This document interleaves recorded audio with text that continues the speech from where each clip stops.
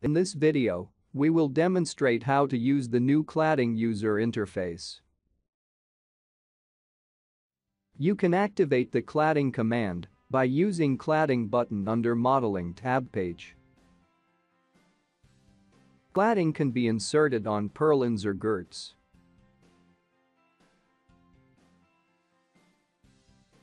Let's start with girts.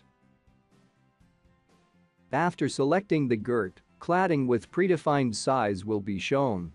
You can change the geometry by using corner points.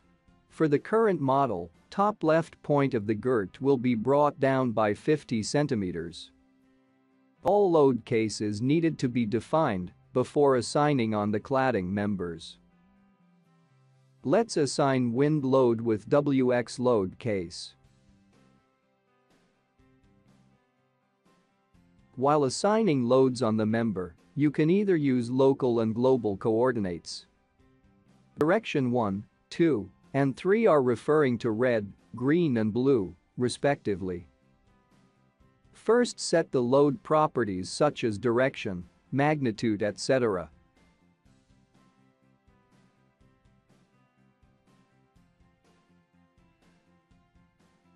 You can either assign loads on each panel individually or you can use region and group options.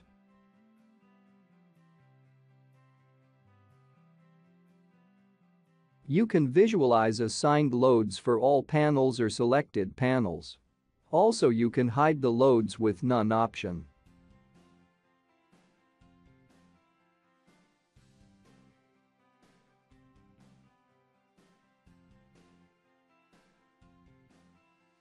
Now, Let's continue with the purlins.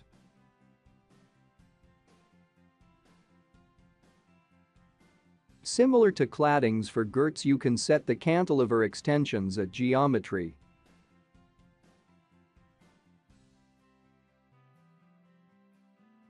There is a display option for local coordinates of panels of the cladding.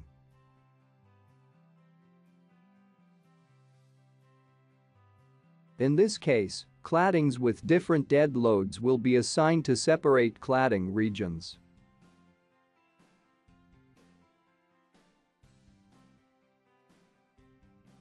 If region is used for load assignment, all panels under selected region will be assigned with specified load.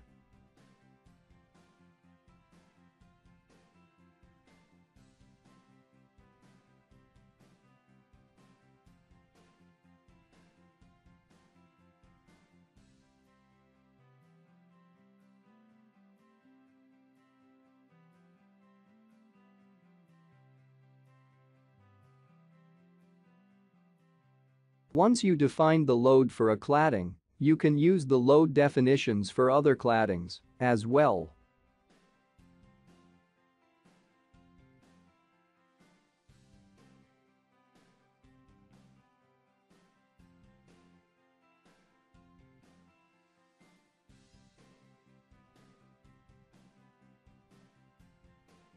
Additionally, roof live load is defined and assigned on cladding K103.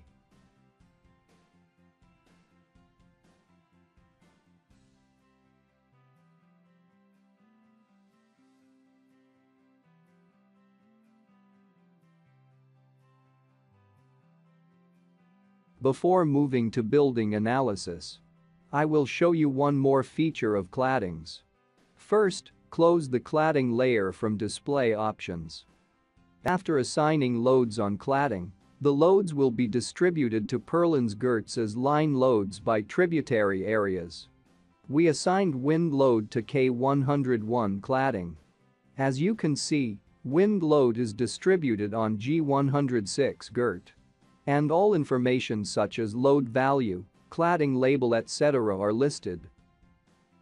Similarly, you may see the distributed loads on purlins.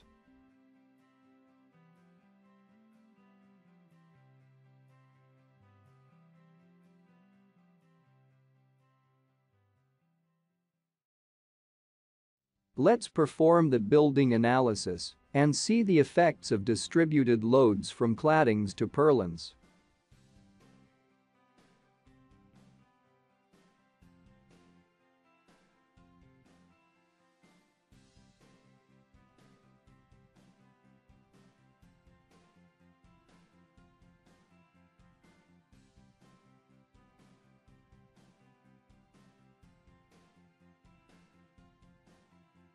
Since QR loads are only assigned to K103 cladding, effect of this load case is more significant on that part.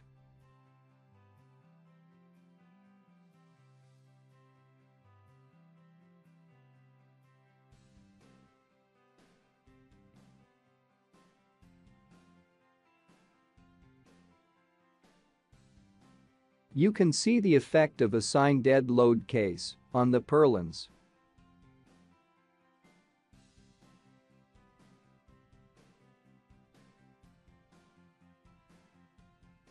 By activating frame loads and frame load labels buttons under the members tab page.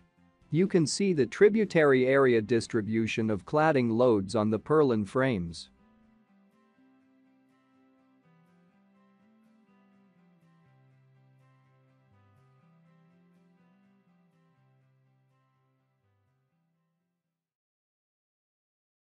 Thank you for watching, and please do not forget to subscribe to Prota Software YouTube channel to hear about our latest tutorials and videos.